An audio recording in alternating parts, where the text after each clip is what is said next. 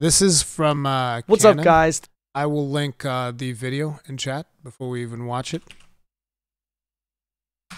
And then I'll link it again at the end. I should start linking videos at the start as well. And do remember, you can uh, submit reactions if there's a channel called Reaction Randy on our Discord. There's uh, I'm gonna give drop you guys a link if anybody wants me to watch something. You can drop stuff there for suggestion. And uh, let's take a look at the um, Riot MMO details. Today, I'm bringing you an exclusive interview with the upcoming Riot MMORPG director, Greg Street, also known as Ghostcrawler. This is a small segment from a two hour interview that I had with Greg. So, if you want to watch the full interview, be sure to subscribe to the channel so you'll be notified when it drops. Also, I'm streaming live on Twitch five to six days a week, so visit me there. It's the best way to connect with me personally. And let's begin. Right. I do want to talk to you about monetization, but before I ask that question, what do you think separates games like WoW and Final Fantasy 14 from from the others that just don't make it? Like what is it about them? I mean, is it just the budget? Is it the creative design that's behind it? Is it a team that's running it? I mean, it could be multiple things, but Yeah. it just it, it you know there's plenty of good ideas and there's plenty of i'm sure every mmo that comes out it's like hey we feel like we can do this better. And i love the fact that when we talked earlier you're you're talking about hey i, I think one of the things that riot does very well is they look at games like dota and like and, and think hey maybe we could do this better by doing this and this. And they've just had good they've had solid success with that.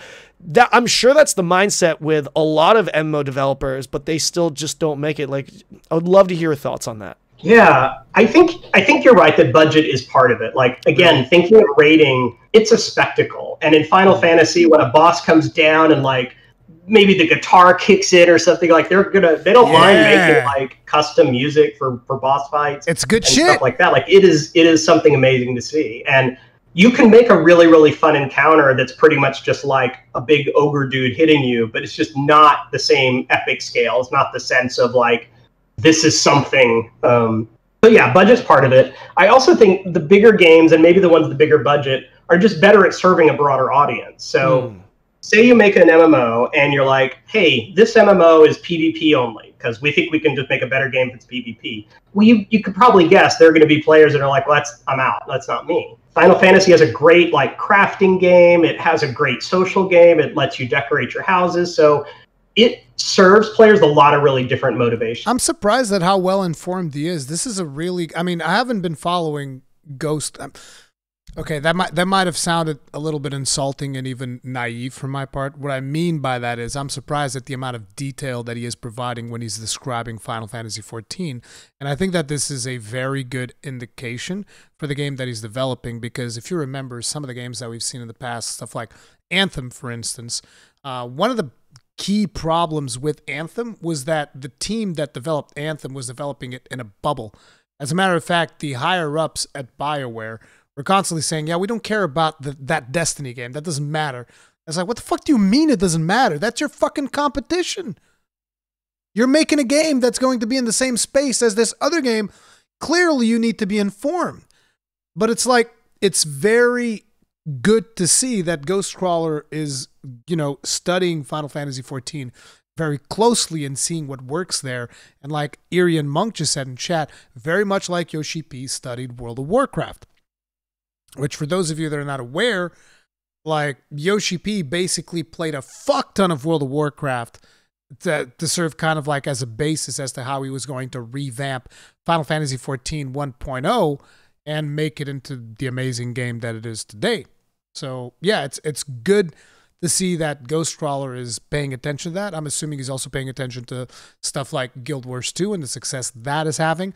Naturally, we know that he pays attention to World of Warcraft, having been someone that worked closely with that game, so it makes sense. Right. I don't know if you can answer this, but do you feel comfortable with the budget that you have for the Riot MMO? Oh, that's actually a really interesting question. I think I can answer it. Um, one of the nice things about Riot is we're we're not going to run out of money, right? I'm, I'm not going to have a publisher that's like, hey, if you you know you got to ship by Christmas or or or we're canceled. Mm. Um, Riot will cancel this game if the game isn't good enough. They're not going to cancel the game because it gets too expensive. And those, you know, those go. That is that is a, an interesting thing for him to say because it, it, gives you a lot of comfort, but it's it's at, at, least I know that I feel comfort if I believe that what he is saying is true. I'm not saying that he's lying or that he's not lying. I'm just saying that, like, hey, of course, you're working on this game. It is in your best interest to paint it on the most positive light possible. And the, you know, if you take a look into Riot's track record, like we saw previously in the in the first video, it does seem like most of the stuff they give it time, they release it properly, they they do the work. It seems, at least at first glance, that they do the work to let these games flourish and succeed. So that is a good thing. The not having a pressure of a release date, that is a very good thing. I think that, you know, a, a statement like that is very important. That it's like, hey, we have the comfort to take our time and do the way that we want. That is good. That is good to hear.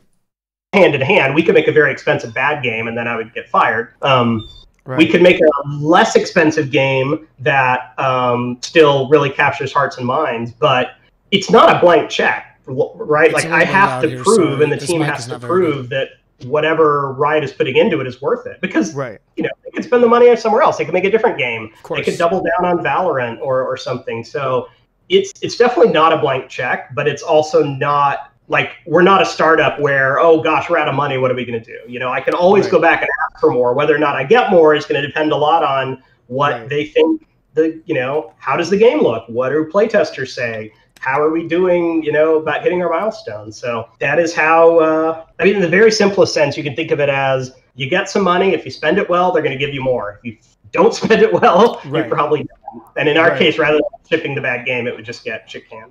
That's awesome. But I think that's that distinction. I think is is massive. Not only from your per, like not only from your perspective but especially from the consumer's perspective like just knowing that hey this MMO that's coming out it's like money isn't the issue they'll cancel it if it's not good so like even that like just that notion it's like if this MMO were to be canceled, I would be devastated. I'd be really disappointed. I yeah. think everyone in the MMO world would be, the MMO community would be pretty devastated that it, it got canceled.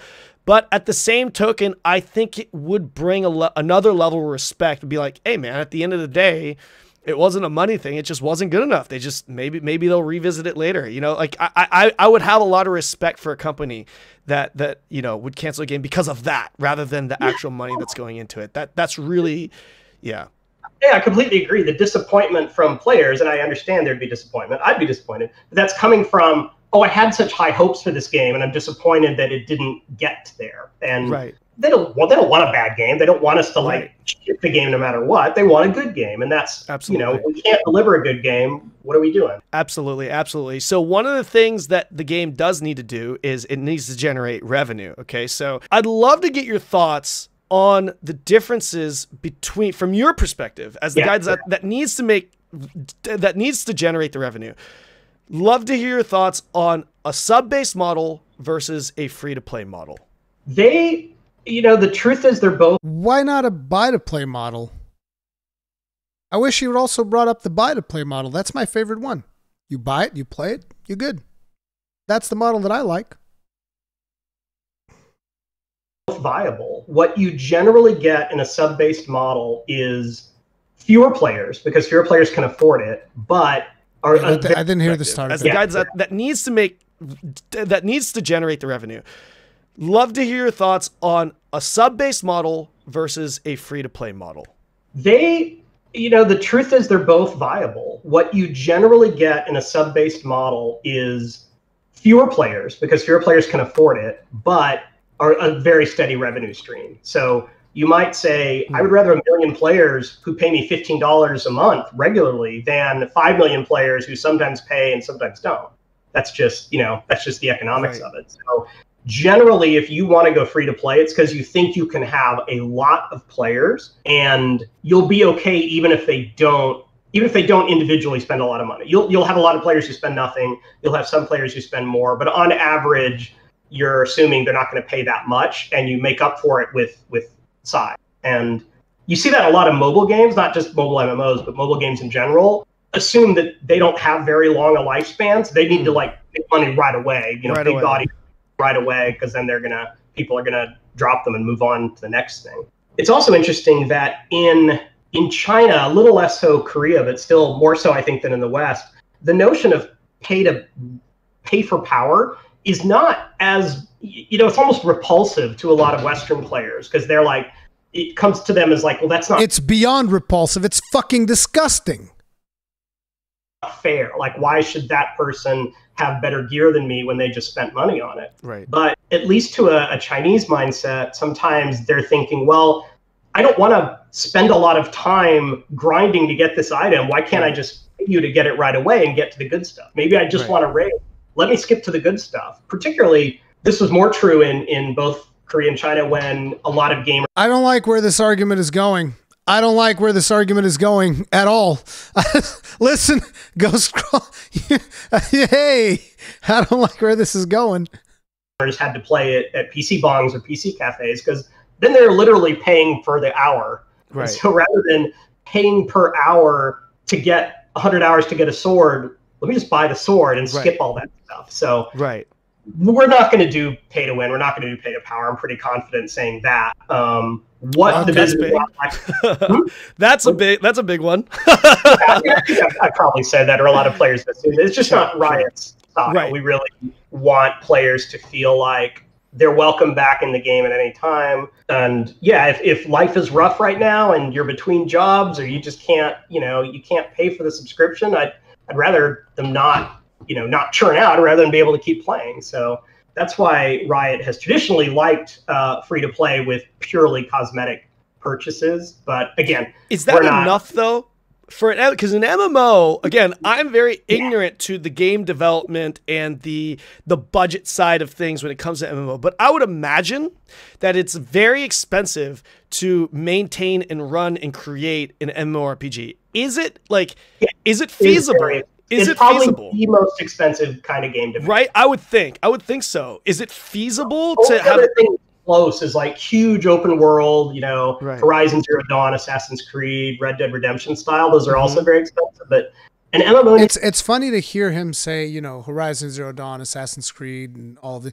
If you just take all of the Assassin's Creed games, you put them together, and you know these are very high budget games, very super, you know, produced games, whatever, tons, fuck tons of content, all of these things, and yet. I look at like Xenoblade Chronicles X and it just destroys all of those games. Just just just takes a dump on them. And I imagine the budget of that game was probably a lot less than most of the Assassin's Creed games. That's something to think about, huh? Needs everything. It needs Right. matchmaking. It needs a chat system. It needs, you know, a gear system. It just every system you can imagine. So yeah, they are very expensive to build, and if it's a super content heavy game, they're also very expensive to run. Absolutely. If it's a more PvP based game or a more sandbox game, it's less expensive to run because players are providing a lot of the, The content. content. Right, absolutely. Is is it feasible for a large scale MMO, like a, a big budget MMO, to sustain with a free to play model that just monetizes off of cosmetics? Honestly, because like for me, I'm thinking like no. Like, like, for me, on like, like technically, theoretically, yes. Obviously, if everyone is buying these costumes and Yeah, stuff, yeah, sure. I know for a fact it would be, but like honestly, like realistically, I feel like the answer to that is no. What would you say? No, we've we've done the math, and I think there is a world that that that works out. Like Really? you can have enough players who are willing to pay enough on cosmetics to to fund a really big game. Really? Like Uh, how how often would you expect in order for that to work? How often would you expect to have to like release new cosmetics? Because obviously you can't release one new cosmetic a year to be able right. Like no one's gonna buy right. That's not enough money. And I also know from experience that players resent when they feel like you're spending too much development effort on cosmetics. Like Yes. to look at League of Legends, Yes, for we example, if fucking we do. stopped making champions and just kept making skins, at some point players are like, well, this kind of sucks. You're only focused on the money making side Right. of the game. So you need to do both. You need to make sure the game balance is good. You need to update Absolutely. everything that you can in order for players to feel good about it. So, um, yeah, again, we don't we don't even know for sure exactly what our business model is going to be, but Mhm.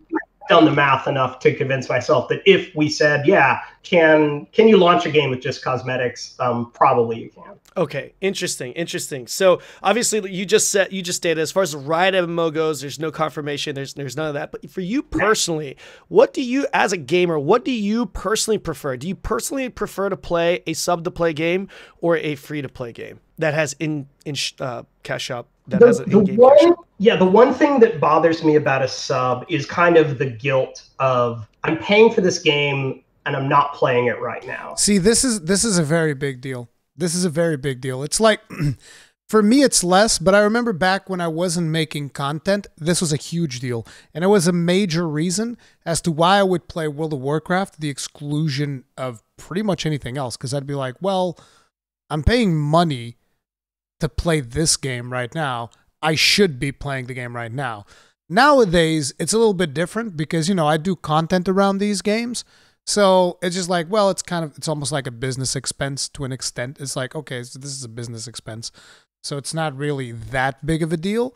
But you go back, uh, for me, for instance, you go back 15 years, and the idea of being subscribed to two MMOs simultaneously is literally unthinkable. I'd be like, fuck no, you're crazy. Subscribe to two MMOs at the same time? Hells no. Uh-uh. Never gonna happen. See? So I th- this is a very good point that Ghostcrawler brings up. I dude ah, I love the way that Ghostcrawler talks about MMORPGs. Holy shit.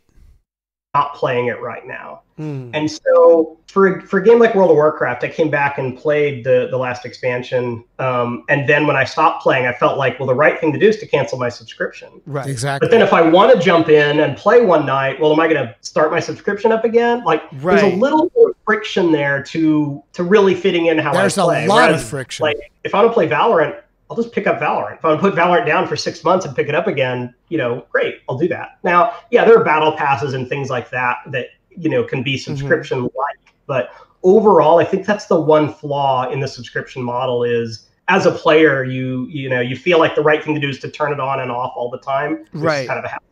Right. What do you think about the games that are free to play but have like a subscription option where you get bonus stuff Good like question. ex- you know extra loot drop percentage, you know extra experience, you know. Uh, a lot of games do that. Like BDO does it, even Lost Ark does it to a certain extent. What do you think about that model? I think as a player, I think that's pretty cool because it gives you the option to kind of pay how you want. If, if you're like, hey, I'm not ready to commit money I'm not I'm not a fan of I'm not a fan of that because of the fact that you are, you can say what you want, but in the case of Lost Ark specifically, you are fundamentally buying power. It's just that simple. You can be like, ah, it's convenient. Okay, convenience, whatever. Call it whatever the fuck you want. It's power. It's po- I, I don't care. It's like, oh, can you level up faster than other people? What do you call that? Convenience, power. It's that simple. Like, don't even don't even try to go. It's a convenience. It's a the definition. Blah, blah. Let me just muddle up the definition of pay to win and and change everything in a way that I can justify my my copium addled fumes. It's like no, bro. It's by it's, it's pay to win. Like okay, ju- just just just chill. You can play a pay to win game if you want. Just like don't try to fucking come up with these different definitions and muddle the waters and and all this nonsense. In my town, that's known as pay to fast. into this game, awesome. But if you're like, no, I'm in, I know I'm going to spend lots and lots of hours in this game. I don't mind, you know, spending a little more for a better experience. Um, I think that's pretty cool. It is, you know, again, like I said before, with the the pay for power, Hmm. it's a slippery slope, and you can easily turn off Yeah. players um, Right. if you're if you're too heavy handed with that. Very much so. Dude, I'm very curious to see the full interview on this. Uh, but if he says that it's like three hours, I don't know if I'll react to that on stream. We'll see, we'll see how that pans out. But for now, make sure to check out the video, leave it a like, uh, give it some watch time, all of that jazz. This is a very good video. Very good video indeed.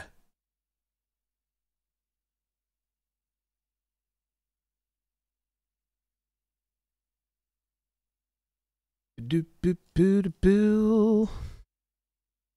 He said it's cool for battle pass. I fucking hate battle passes, dude. But I really like the way that uh, Greg Street talked about a lot of these things. I just really appreciate like it's a very down to earth view. It it feels like a lot of the points that he made came from like a gamer's perspective, which is really really cool. Like you know like the the fact that you never hear developers talk about sub guilt in such an eloquent way as he did right there. I've never heard another MMORPG developer elaborate on that particular topic as eloquently as he did right there, which is just like, ah, you kind of feel guilty because you're not playing the game.